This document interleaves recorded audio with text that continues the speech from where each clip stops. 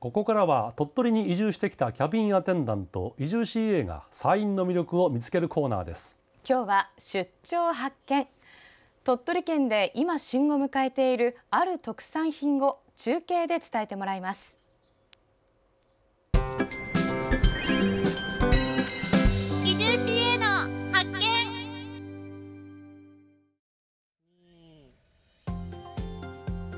ANA でキャビンアテンダントとして働きながら日本海テレビで兼業している宇賀神真紀子です今日は鳥取市にある観光梨農園三公園にお邪魔しています。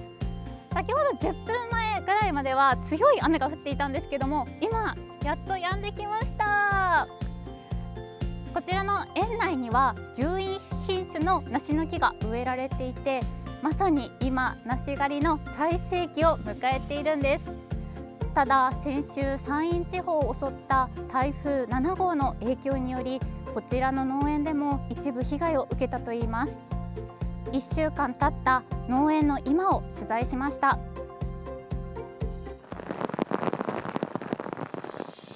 今月15日に鳥取県に最接近した台風7号。記録的な大雨とともに強い風が私たちを襲いました。鳥取砂丘のすぐそばに位置するこちらの農園でも台風の影響があったといいます。梨は落ちましたけど、まあ、まあ、そこまですごい被害ではなかったので、まあ、一安心というか、まあ、このくらいで済んでよかったかなという感じで。1年間育ててきてやっぱり、ね、最後の最後で落ちちゃうんでねちょっとまあ悲しいですけど。全体の数パーセントではありますが風の影響で梨が落下腐ってしまい商品にはならないそうです。さらに観光農園として書き入れ時のお盆の時期に直撃したため梨狩りの予約のキャンセルが相次ぎました。コロナ禍が明け大勢の来園を期待していただけに大きな打撃だったといいます営業はしてたんですやっぱりあのすごい風と雨でしたのでお客さんもなかなか来られなかったので書き入れ時ですのでやっぱりその時に台風に来られるとやっぱりちょっと困っちゃいますかね。そして台風接近から1週間が過ぎた今日農園を訪ねるとあすごいにぎわってますね。みんな楽しそうに梨を剥いたり食べたりしてますね。農園はいつものにぎわいを取り戻していました。そんな多くのお客さんのお目当てが。新幹線が好きで。どんなところが特に好きとかありますか？やっぱみずみずしくって甘い、高い糖度の赤梨竹水に青梨の長20世紀を掛け合わせ誕生した新幹線。強い甘みとみずみずしさが特徴でその糖度は20世紀梨が11度ほどに対して新幹線は15度前後にもなります。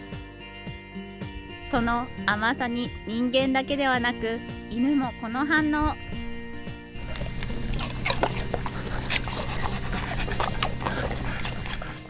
シャリシャリして美味しい。先週収穫時期を迎えたばかりで数ある品種の中でもトップクラスの人気。コロナ禍が落ち着いた今多くのお客さんがその味を求めてやってきています。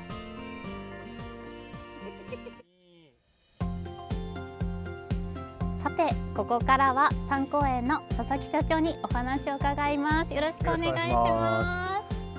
今年は猛暑に台風と梨にとっても厳しい夏となりましたが、梨の出来はいかがでしょうか？そうですね。梅雨明けから1か月ぐらいちょっと雨が少なかったのであの玉太りを心配したんですけどあの水やりをしっかりしてあとはあの糖度もしっかり乗ってますんで大きくて甘い梨ができていると思います、はい、本当にたくさんなってますねそしてこちらが新幹線なのですが、はい、食べ頃とか梨の見分け方はあるんでしょうそうですね。例えばですねあのこういったまだ青みがあるものはまだ早くてこういった感じで赤く茶色く売れてるものがいいと思います、はい、確かに梨の色が全然違いそうですね。ますねはい。よかったらこれ先ほど収穫した新幹線でよかったら食べてみてくあださい。りがとうございます。あそれでは早速新幹線いただきますうんうんすごい甘いですでなんかすごいみずみずしくってそうですね食感もシャキシャキしててそう美味しいですね。うん。もぐもぐしてしまいました。さらにこちらではこの梨を使ったある意外な料理を販売してるそうなんですけども、福谷さんはい何かわかりますか？意、外な料理なんでしょうね梨ラーメン？意外な料理です。違うあー、惜しいです。正解はこちら。梨カレーです。カレーかこちらの梨カはいレーはどういったカレーなんでしょうか？そうですねやっぱり出荷できない梨がどうしても出てきますので、うんそちらをあの有効に活用としすることであの梨があの全体の50%以上入った甘くてあの子供さんでもいあの食べれる甘いカレーになってます。はい。それでは早速いただきます。あ、本当に見た目からやっぱこの梨が入ってる感じがわかりますね。すねい。ただきます。うん、本当だ。すごい甘いです。新幹線の梨の甘みがカレー全体に広がってますね。であのこの梨の食感も少し残ってる感じがします。そしてこちらは梨と野菜のサラダです。梨の甘さがアクセントになっていてさっぱり食べられるそうですよ。特産の梨が食卓に並んでいるのは鳥取ならではですよね。そうですね。あの今が梨の最盛期になってますので、たくさん皆さんにも食べていただきたいです。この梨狩りは11月下旬まで楽しめるそうですが新幹線は来月の上旬まで楽しめます。以上鳥取市の梨園から発見でした。